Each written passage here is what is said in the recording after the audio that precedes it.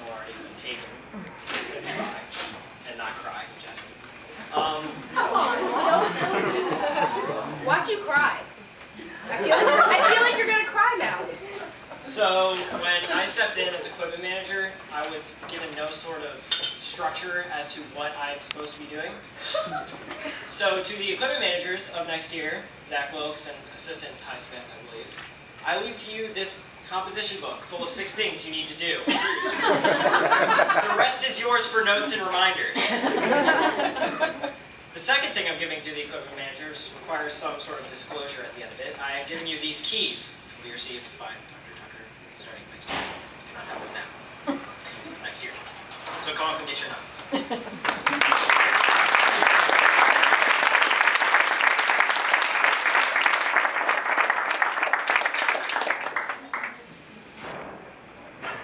note.